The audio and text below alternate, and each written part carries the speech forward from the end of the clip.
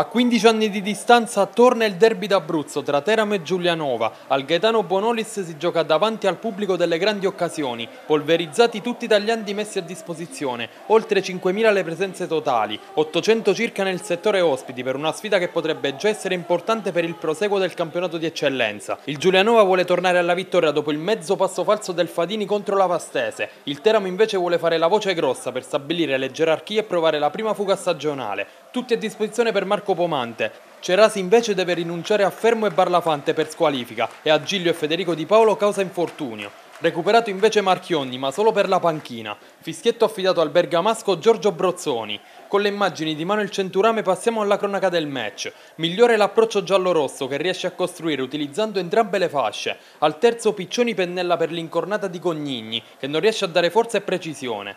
Precisione che manca anche poco più tardi, prima nella punizione calciata da Zanon e poi sull'incursione di Cognigni. Negro blocca senza problemi. Al quarto d'ora primo timido segnale da parte dei biancorossi, ma De Gidio dalla distanza non è preciso. Non passa nemmeno un minuto e il Giulianova trova il vantaggio. Cognigni lavora benissimo all'interno dell'area, si gira e batte Negro, facendo esplodere tutto il settore ospiti. Qualche screzio per la presenza di alcuni tifosi giuliesi in tribuna centrale, ma il tutto è rientrato senza particolari problemi.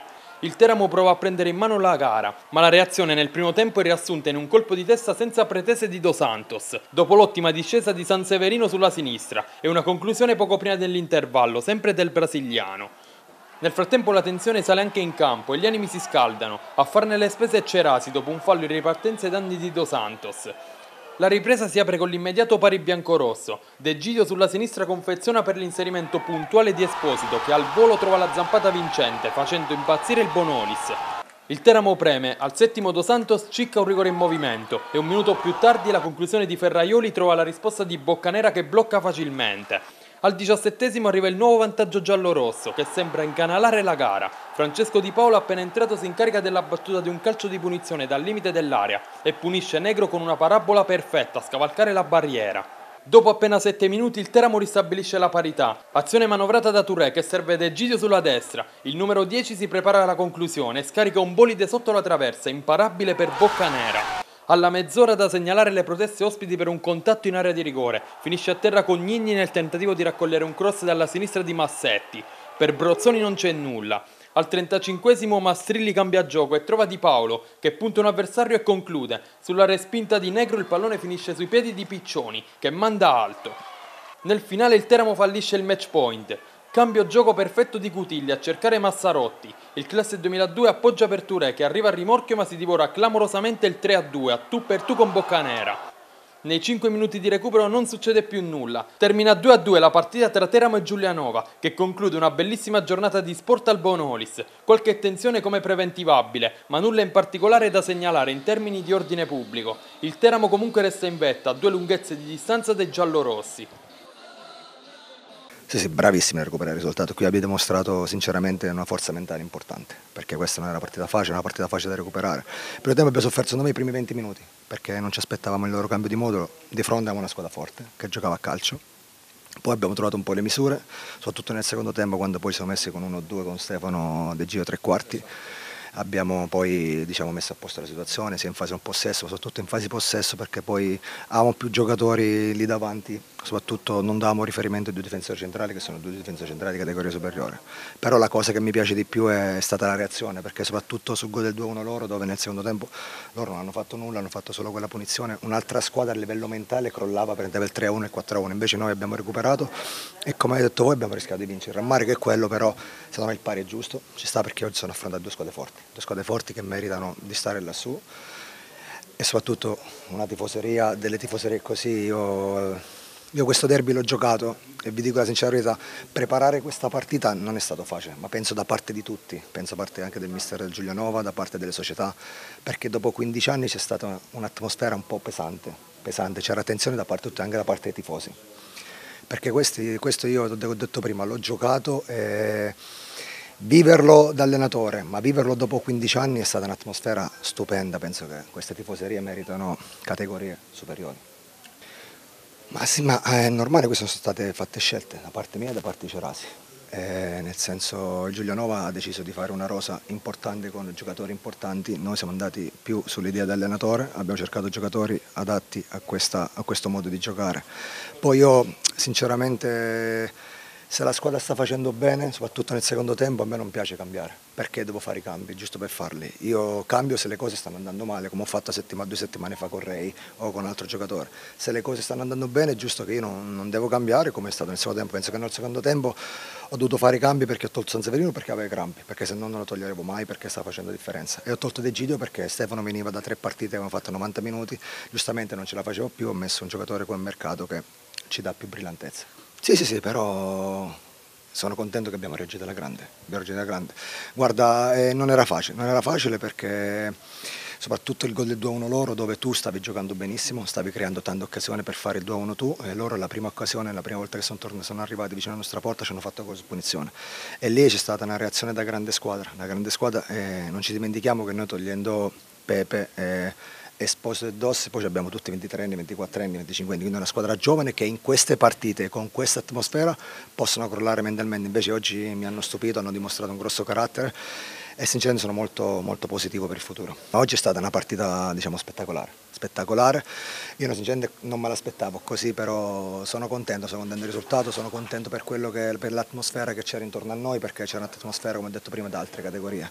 L'importante alla fine è che è stata una, una bellissima giornata di sport, alla fine siamo contenti tutti e due, e noi forse un po' di più perché andiamo a vedere la classifica, uno dice non la guarda, la guardiamo tutti, giustamente siamo ancora lì davanti e oggi era importante tenere la prima posizione.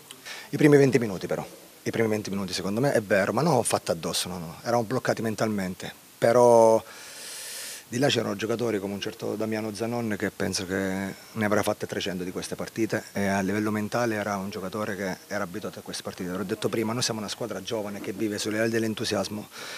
Giustamente eh, l'importante era partire bene e non l'abbiamo fatto, però io mi prendo la grossa reazione, la grossa reazione perché il Giuliano è una squadra forte, oggi l'ha dimostrato, ma abbiamo dimostrato anche noi di poterci giocare alla pari.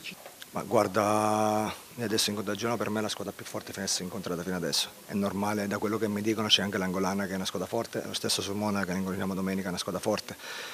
Non ci siamo solo noi, non ci siamo solo noi, e dobbiamo portare rispetto anche alle altre perché questa è una categoria difficile dove nessun, nessun risultato è scontato. Se vediamo la Francoporto, prima di giocare con noi aveva 9 punti, prima con noi, poi ha perso le ultime due partite, quindi noi dobbiamo pensare al nostro percorso consapevoli che siamo una squadra forte. Dos Santos eh, gli ultimi dieci minuti ha rischiato di fare due gol. È normale che veniva da due partite dove ha giocato 90 minuti e non ci dimentichiamo che c'è stato un tour de force importante, però dal punto di vista offensivo io sono contento perché soprattutto nel secondo tempo abbiamo creato tanto, abbiamo creato tanto e forse gli ultimi, vedendo gli ultimi citi meritavamo di vincere, però è anche giusto così, anche il pareggio.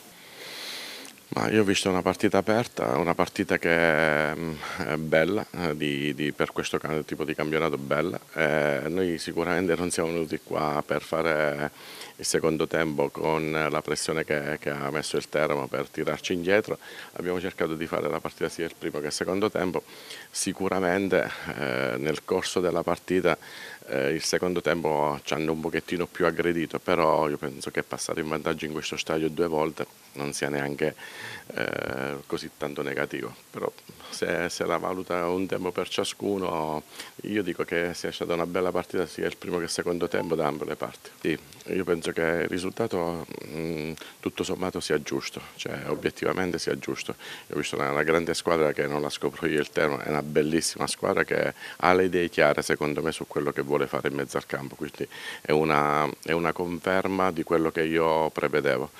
È normale che mm, la, il mio rammarico è che se Bittai manteneva un pochettino la condizione in quel ruolo là metteva in difficoltà il termo. Noi dimentichiamo, magari gli addetti ai lavori dimentica che non siamo tutti quanti al 100% che purtroppo Bittai viene da un infortunio all'occhio che non gli ha permesso la passata stagione tre mesi di, di, di, di fine campionato e non ha fatto la preparazione. Questo è l'unico rammarico che avevo in in quel ruolo, in quel momento, eh, questo tipo di giocatore, però tutto sommato sommato gli rispondo definitivamente 2 a 2 giusto. In Sbalti vi dico subito che è un'emozione pure per me eh, vivere eh, uno stadio del genere perché è stato veramente stupendo. Io sono di parte, nel senso cioè, per me la curva giuliese è qualcosa che ti, ti emoziona, però complessivamente uno stadio di altre categorie. Io penso che entrambi, ma ti rispondo per quanto mi riguarda, penso che c'è da lottare su ogni situazione di, di, di campo, su ogni partita perché il campionato di eccellenza io è il terzo anno che lo faccio, ho vinto gli scontri diretti ma non ho vinto il campionato, quindi bisogna stare attenti a questo tipo di valutazione perché ci sono squadre attrezzate. Secondo me sì, secondo me sì, anche perché studiando un attimo la, la, la squadra del Teramo ho pensato di fare questa, questo tipo di... abbiamo giocatori presi in un modo di proposito per essere utili, quindi niente di strano, insomma, nel calcio esiste, pure tatticamente una cosa normale, insomma. Io quello che vi posso dire è che dall'esperienza che ho fatto in questi due anni ho bisogno per, per provare a vincere questo campionato, ho bisogno di 18-20 giocatori perché altrimenti è difficile. Arriveranno come già c'è successo, ma penso che ogni, ogni eh, squadra arriverà a un tempo delle squalifiche, un tempo degli infortuni, quindi bisogna sopperire a tutto. Pure oggi uno non, non, lo ridice, non lo ridice perché non lo deve ridire, ma noi abbiamo quattro giocatori fondamentali fuori. Eh, chi è entrato secondo me ha fatto la differenza a mio giudizio, poi passi che mi sbaglio, però vedo questo. Per come sono venuto, per come siamo venuti, non tanto, perché eh, io per natura vorrei sempre vincere, quindi è quello che trasmetto alla squadra è questo, eh, questa cosa qua. È normale che eh, siamo a Teramo, è una piazza importante, è uno stadio importante, è una squadra importante, quindi è normale che torno a casa eh, col, col, soddisfatto di questo pareggio, però che mi accontenta definitivamente no. Beh, diciamo che una cornice di pubblico così importante in questa categoria credo che si vede poco. È stata penso una bellissima partita dove il Giulianova è partito meglio di noi, però siamo stati bravi a tenere a galla il risultato e riacciuffarla prima con un mio gol e abbiamo avuto subito anche un'altra occasione importante prima della rete del 2-1 giuliese e poi ovviamente abbiamo avuto una reazione molto molto importante perché potevamo, oltre che abbiamo pareggiato, potevamo anche trovare il gol del 3-2 con Touré, però penso che siamo soddisfatti della prestazione di oggi. Livello, sapevamo che il Giulianova a livello di palleggio è una squadra forte, quindi diciamo che dal punto di vista tattico potevamo fare qualcosina di meglio, ma ripeto, siamo stati bravi a metterci meglio poi in campo e penso che la reazione di squadra si è vista. Ma eh, ripeto, è stata una questione tattica dove potevamo lavorare meglio lì a centrocampo, ma io penso che non ci sono state grandi occasioni da parte del Giulianova.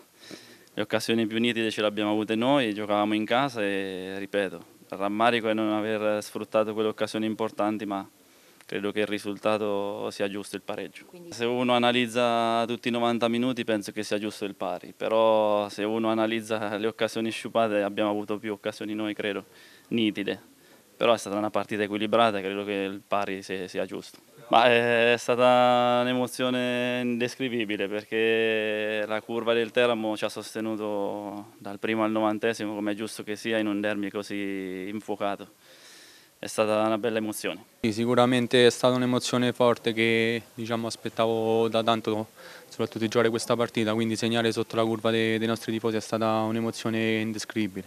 Peccato per non essere riuscito a mantenere il vantaggio, però penso che abbiamo fatto una grande partita come il Teramo, due squadre forti quindi siamo contenti così. Sì, come ho detto, sicuramente eravamo in vantaggio per due volte, potevamo gestirla forse meglio, però come ho già detto il Teramo è una squadra forte, giocavamo in casa loro, quindi ci sta di, di venire a pareggiare qui. Beh, penso che giocare una partita del genere, un derby del genere con lo stadio quasi tutto esaurito, penso sia, sia una grande, grande, emozione, sia da parte nostra che da parte loro, penso il, il tifo ha dato quella spinta in più per arrivare fino alla fine. Bah, per il momento guardiamo anche alle altre squadre, ma come ho detto più volte noi dobbiamo pensare a noi. Sicuramente siamo le due squadre più attrezzate per arrivare fino alla fine. Ecco. Sì, sicuramente non solo questa sfida, ma anche le partite precedenti avevamo alcune defezioni, però come ho già detto abbiamo una rosa lunga, quindi tutti, tutti siamo, sono sullo stesso piano, quindi cioè, diciamo che siamo riusciti a gestirla bene.